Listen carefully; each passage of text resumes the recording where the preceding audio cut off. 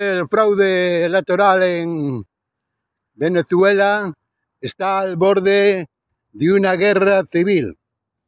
Los ciudadanos han tomado ya Caracas y este socialista, este impresentable que solo trae ruina y miseria al pueblo venezolano y allá donde gobiernan los socialistas, todos iguales por abajo de pobres y ellos multimillonarios, como ese fantasmón de Fidel Castro que tuvo al pueblo cubano y sigue todavía, que también terminará en una guerra civil tarde o más temprano, pero terminará en una guerra civil también.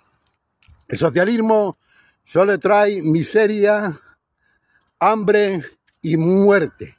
Y todos aquellos que les votan son tan cómplices como ellos. No son víctimas, sino son cómplices. Y los que les apoyan también.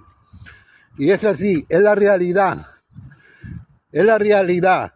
No conformes con gobernar, no conformes con el dineral que se les paga a los políticos, van y encima te roban. Te roban y tienen al pueblo pisoteado. Tienen al pueblo humillado, pasando hambre, miseria. Es increíble. El país del azúcar le falta azúcar, Cuba. Al país del petróleo le falta petróleo, Venezuela. Al país de los bobos solenes le faltan bobos, España. Y al país de la carne le falta carne, Argentina. Es increíble, ¿no? Es lo que hay, señores, es lo que hay.